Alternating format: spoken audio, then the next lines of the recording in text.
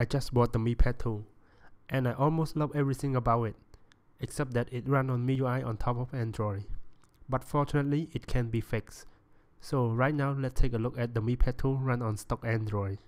I will leave a link in the description on how do I get it. From the lock screen, as you can see, it looks so much cleaner than MIUI. And swipe that open, you will see the familiar interface that you used to see on the Nexus device.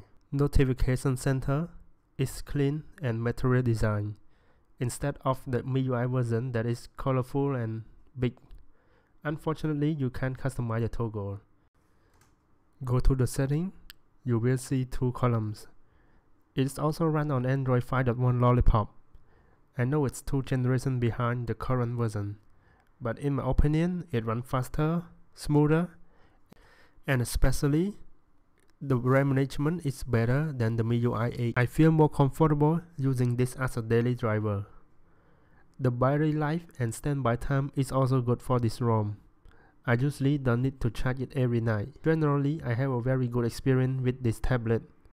And I would recommend you to install it if MIUI is not your personal preference. Let me know in the comment if you have anything to ask. For now, I will see you in the next video.